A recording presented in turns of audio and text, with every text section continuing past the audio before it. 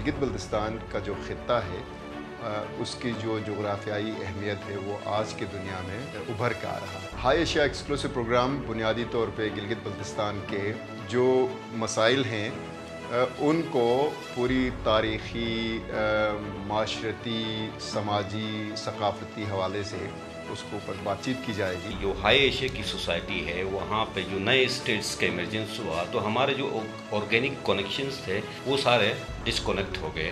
ایک power vacuum create ہو گیا۔ اس power vacuum کی وجہ سے اب جو پرانا ہمارا لوکل ہمارا سوشل کانٹیکٹ تھا، ایک عمرانی معاہدہ تھا، وہ بھی ٹوٹ پھوٹ کا شکار ہو گیا۔ کیونکہ ہم بھی ایک پیریفری ہیں اور ایسی پیریفری ہیں جس جو ابھی مارے بھی کھا رہی ہے اور جس نے مار بھی کھانے بہت مار کھانے ہیں کہ ایک عمرانی معاہدہ یا سوشل کانٹریکٹ جو ہے وہ اس چینجنگ ریپڈلی چینجنگ ڈائنمکس کے اندر ہونے کی ضرورت ہے۔ تو انڈیجنس اس کے اندر پوائنٹ آف ویو نہیں ہے۔ جن لوگوں نے اس عمرانی معاہدے کے ہمارے اوپر وہ عمرانی معاہدہ تھوپا ہے، انہوں نے اپنے نظریے سے، اپنے پرسپیکٹیو سے بنایا ہے۔ ہمارے سوسائٹی کو اسٹریٹجیکلی ڈیپولیٹیسائز کیا گیا، گلگت بلتستان۔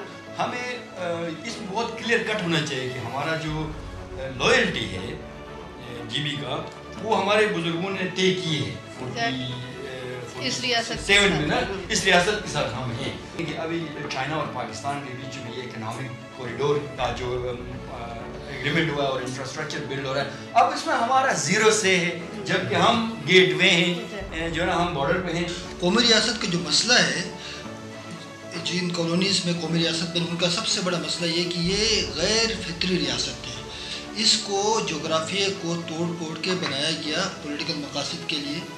ہونا چاہیے ایکالوجی اسٹیٹ ہونی چاہیے۔ سی پیک کے اندر انویسٹمنٹ تب تب تک نہیں ہو سکتی جب آپ کا ریاست آپ کو سورن گارنٹی نہ دے۔ ریاست سورن گارنٹی صرف ان علاقوں کو دے گا جہاں پر آئینی حقوق ہیں۔ میں اس کو فرینس فینون کی، اس میں اس سارے علاقے کو زون آف نان بینگ کہتا ہوں یا liminal state we are no more what we were we are not becoming what we supposed to become society کو آپ سوشل کانٹریکٹ سے چلاتے ہیں آرڈرز سے نہیں چلاتے ہیں سیونٹی فور سے خالی آرڈرز آ رہے ہیں ہمیں پاکستانی اسٹیٹ کے ساتھ ہی سوشل کانٹریکٹ کرنا ہے کیونکہ ہم کانسٹیٹیوشن کا پارٹ نہیں ہیں تو اس کا مطلب یہ ہے کہ ہم سوشل کانٹیکٹ ہمارا کوئی ایسا رشتہ ہم ایسی بیوی ہیں جو نکاح میں ہے ہی نہیں اسٹیٹ کی